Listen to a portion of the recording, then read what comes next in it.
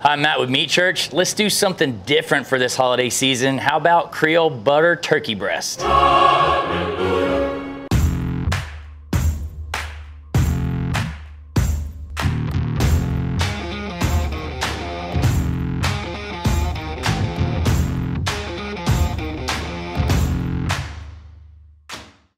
We have lots of turkey videos on our channel and recipes on meatchurch.com. But over the past few years, one of my favorite things to make at Thanksgiving is a whole turkey lobe. It's like a gigantic turkey breast. It's extremely popular here in Texas. Pretty much every major barbecue joint uh, will have this on their menu really since the pandemic. Uh, brisket prices got so high. Turkey became very, very popular, uh, and it was a way that barbecue joints could actually make money on an item uh, that they're selling. And so the first time I had it, if you've watched any of our previous videos on this from years ago, like our Texas style uh, turkey breast, uh, we seasoned it with our beef rub, our holy cow. Uh, when I first had it, Lance Kirkpatrick down at Stiles Switch in Austin fed me turkey seasoned with salt and pepper, and I wasn't expecting that pepper forward punch, and I loved it. And uh, if you're if you've been a follow for a while, then I'm sure you've tried that. This is going to be a little bit different. In that video, we slather with mayonnaise. Um, you know, we simply season with Holy Cow, and it's awesome. My kids love it. We slice it for sandwiches. But today, I thought let's let's go to my Cajun influence. I love frying turkeys also. So a Cajun fried turkey uh, is often going to be injected. My favorite way to inject is with a Creole butter. You can make it. Usually, I just buy it uh, in my local academy or grocery store, whatever. And then I'm going to season with our voodoo, which isn't necessarily a Cajun rub, but it's salt forward and it's definitely Cajun influence and it's great on turkey. So we're gonna we're gonna put those things um, together today. But anytime I do turkey, I'm gonna impart serious moisture by brining it to start with. You guys know our bird baptism brine is always our number one product through the fall. Whether you use mine or use someone else's, this is wildly popular. And I'm telling you, no matter what I've ever taught you guys, brining your turkey is the way to go. And so today's gonna be crazy juicy because we're gonna brine it and we're gonna inject it. But when I competed in barbecue, that's what I did with my chicken. I brined it and I injected it, and it's gonna be great. So what did we do? Well, I took, um, the, the, instructions for this are on the package, but I took bird baptism brine and I heated it up in a pot of water and uh, just stirred it until it dissolved. You don't have to bring it to a boil. You just really want to dissolve all the salts, but key, you've got to let that liquid completely cool down before you put it in your brine container, whatever you're using. Um, I'm using a Yeti Roadie today. This is great at holidays because people's refrigerators are often full. So you can load this with the brine um, and your turkey breast or whole turkey, put ice in it and keep it cool overnight and keep it outside of the house. And that always makes Mrs. Meat Church happy. But brine and whatever uh, you want to brine. So I've got a turkey lobe here that I brined last night. And I need to rinse this off and pat it dry uh, before we move on to injecting and seasoning it. So I'm gonna walk over to my sink and get that done and I'll meet you back here in just a second. Turkey lobe is, uh, is ready to roll. This is just over five pounds, by the way. Um, fortunately, I can get them here at my local HEB grocery store, uh, but check with your grocer because they're becoming more and more popular. Uh, since Texas Barbecue started rolling these out, uh, more and more people are able to find them. But if you can't, you certainly can do this with a, a bone-in breast as well. All right, I got my uh, Tony Chachere's Creole butter here. Now, I'll use a whole jar for a whole turkey. I probably won't use that much for this, and I'll just discard the rest today. Uh, I'm fine using the needle that come with it, actually quite used to it, but I just kind of go like a one by one pattern. And what I do is I push the needle all the way in, basically, and as I'm as I'm pressing in the plunger, I'm I'm pulling it out, and I'm, I like to do this like with with the grain. But I'll also do kind of three different directions in the same puncture hole, and you'll see it see it start to kind of puff up. So this is really preference. Put however much you want in it. Uh, Creole butter is delicious. I don't think you can overdo it, but that's, uh, that's totally your call.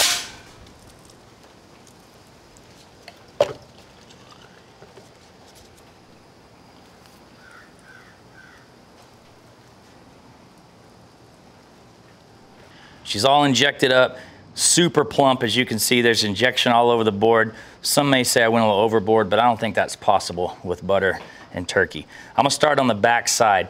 So I, I like to add a little pepper. This is totally optional. Just a little coarse cracked pepper uh, on it if you want. I like the texture, I like the taste. mainly uh, we're going with our voodoo here. I'm gonna top it with just a touch of our garlic and herb, which I always say is a really delicate seasoning. But just keep in mind you are, you know, using multiple seasonings, so you don't want to you don't want to overdo it. But I'm telling you, this one's very delicate. Looks really nice, has great flavor, and it's already, you know, it's super duper wet. So I'm just gonna flip it over and go to the other side.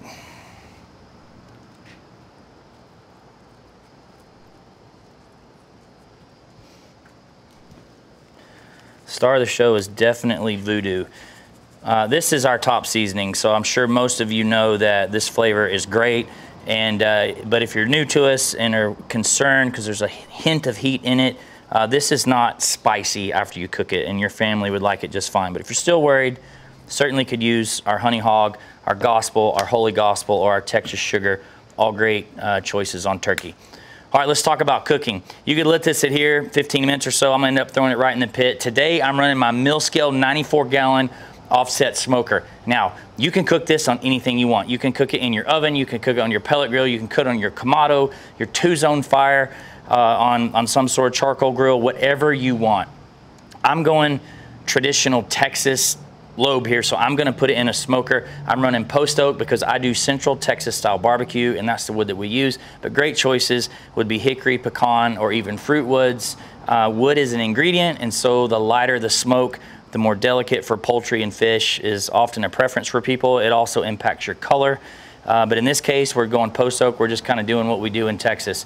Um, I'm running 275 degrees, like I said, and you can baste with butter throughout if you want. I'm actually not going to do anything. Since it's loaded with so much butter, I'm just going to cook it until it's about 158, maybe 160 in the thickest part. Um, it'll continue to carry over, cook a few more degrees. And using your instant read thermometer, which you all should get, I'll put a link for this down in the description of the YouTube video.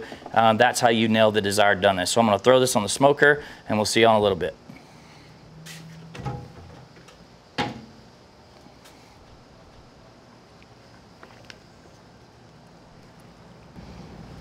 I forgot the garlic and herb.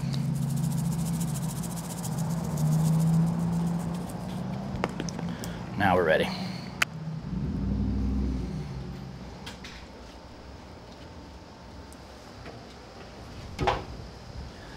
All right, y'all, it's been three hours and 25 minutes according to my little TimeStack here. And we've been temping this along the way. Uh, it just temped at 160 in a thick part, so I'm, I'm good with it. So we're gonna pull it off and get it over to the block.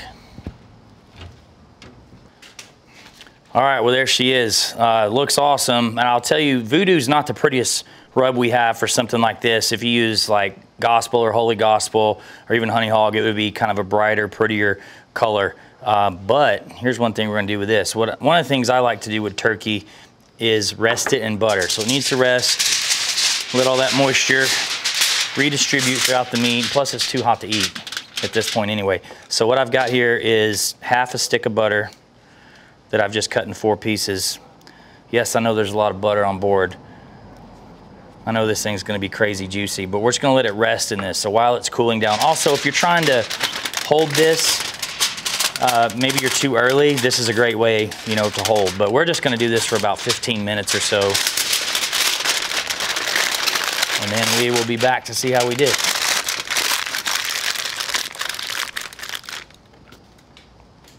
All right, this turkey's been hanging out about 20 minutes or so. Let's unwrap it.